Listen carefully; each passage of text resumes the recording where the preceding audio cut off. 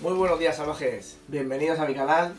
Hoy vamos a hacer un nuevo vídeo de cómo criar eh, pogonas y antes de hacerlo que tenemos que tener en nuestro reptil room o en nuestro terrario o en nuestra casa o tal. Factores a tener en cuenta y eh, qué elegir para poder criar estas pogonas, ¿vale? Eh, pues nada, eh, comenzamos con el vídeo. Espero que os guste y ya sabéis. Eh, seguidme en Instagram, mi canal de YouTube, racon.shoti. Y nada, comenzamos. Dentro vídeo.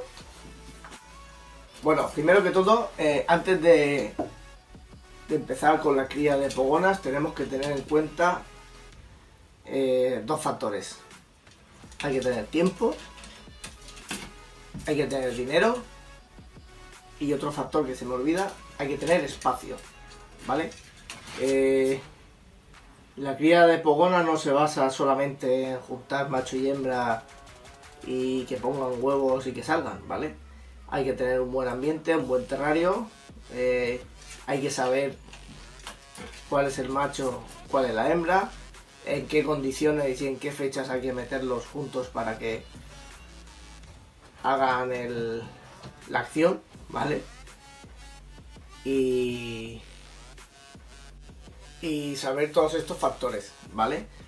Eh, primero, escoger un macho, escoger una hembra, escoger la fase, ¿vale? La fase que queremos criar, eh, ya sea red, que sea citrus, hipotrans, hipotrans, que ya más adelante en otros vídeos explicaré estas fases y tipos de pogonas y demás. Eh, ya visteis en otro vídeo eh, cómo sexar a la pogona, entonces ahora pues ya que sabemos sexarla, es hora de juntarlas. ¿Vale? ¿Cuándo hay que juntarlas? Pues las pogonas suelen tener varias fechas de, de para que procreen, ¿vale? La más efectiva es marzo, ¿vale? En, esa época es la buena para ellas, para, para, para la cría. Y otra fecha también que podría ser buena es a partir de septiembre-octubre, ¿vale? O sea, más o menos en esta época. Luego lo suyo es pues que hacerlas hibernar o brumar, que también explicaré en un vídeo cómo hacer y qué significa hibernar o brumar, ¿vale? Cuando queramos juntar un macho y una hembra, lo suyo, lo que a mí me ha funcionado realmente bien, ¿vale?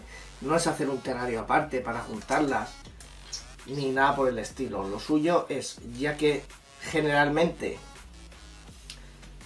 debemos tener macho y hembra separados en distintos terrarios, lo suyo es la hembra meterlo en el terrario del macho, porque ahí es donde el macho está mucho más seguro y cómodo. Entonces, eh, a mí me ha funcionado bien y es un consejo que os doy.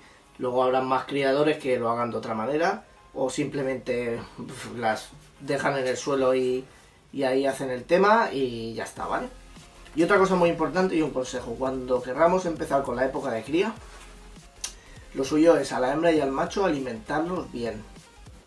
Por ejemplo, yo lo que hago es basar la dieta en proteína. Proteína, pues, eh, yo le doy, por ejemplo, cucaracha bláctica, ¿vale?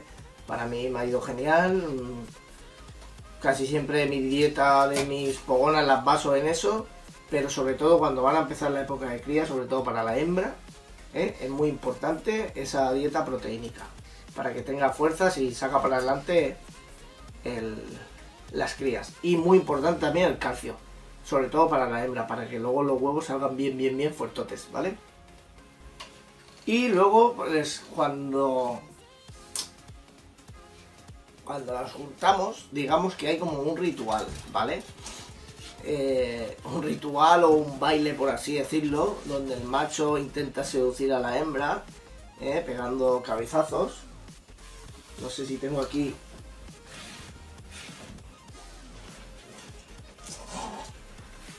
Aquí tengo a Juancho, que este siempre está al lío, ¿vale? Se les pone la barba súper negra ¿vale? Y pegan cabezazos de arriba para abajo. Eso es para alertar a la hembra de que, de que quiere tema, ¿vale? Luego la hembra pues hará un poco de sumisión, eh, pues levantando los brazos, eh, aletargándolos, haciendo así. Luego pasaré un vídeo o unas fotitos para que lo veáis bien claro, ¿vale? Y luego lo que hace el machote es que eh, se sube encima de la hembra, mordiéndole un poquito el cuello, ¿vale? Para que se sujete bien y no se escape. ¿Vale? Ese sería el, proceso, el baile. ¿eh? Y ya está, mira, ¿ves? ¿Eh? ¿Qué pasa? Mira. A ver si lo hace otra vez.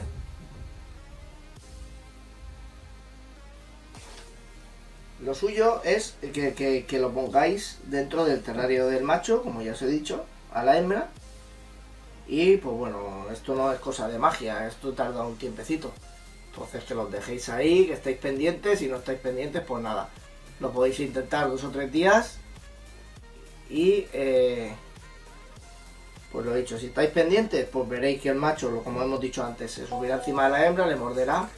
Y la hembra, si quiere, pues se quedará quieta al final, levantará la cola, ¿vale? Para facilitar al macho que introduzca los semipenes en la cloaca de la hembra y ahí se, producirá el, apareamiento, ¿vale? Una vez que haga eso, pues ya la hembra eh, se alejará del macho y ya está, y lo separáis, ¿vale? Muy importante. Los machos llegan a ser muy, muy, muy cansinos, entonces lo que hay que hacer es, cuando pase un ratito, ¿vale? Eh, soltarlos. O sea, dejarlos en su sitio y separarlos, ¿vale? Nunca tenerlos juntos porque los machos son muy pesados y llegan a morder todo el rato a la hembra y llegan a hacerle herida en la zona del cuello arriba, ¿vale?